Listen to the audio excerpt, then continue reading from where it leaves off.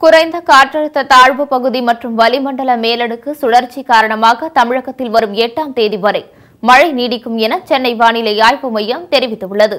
வானிலை மையம் வெளியிட்டுள்ள செய்திக்குறிப்பில் வெள்ளிக்கிழமை டெல்டா மாவட்டங்கள் கடலூர் சேலம் ஈரோடு நீலகிரி அரியலூர் பெரம்பலூர் மாவட்டங்களில் ஓரிரு இடங்களில் இடி மின்னலுடன் கூடிய கனமழையும் ஏனைய மாவட்டங்கள் மற்றும் புதுச்சேரி காரைக்கால் பகுதிகளில் இடி மின்னலுடன் கூடிய மிதமான மழையும் பெய்யக்கூடும் என கூறப்பட்டுள்ளது.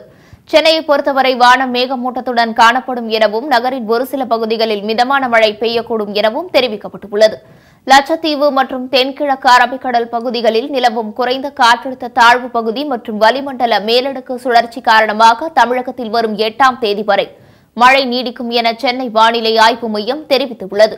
மேலும் நவம்பர் எட்டாம் தேதி வரை கேரளா கர்நாடகா கடலோர பகுதிகள் லட்சத்தீவு அரபிக்கடல் பகுதிகளில் சூறாவளி காற்று வீசக்கூடும் என்பதால் மீனவர்கள் மேற்கண்ட பகுதிகளுக்கு செல்ல வேண்டாம் என எச்சரிக்கப்பட்டுள்ளது.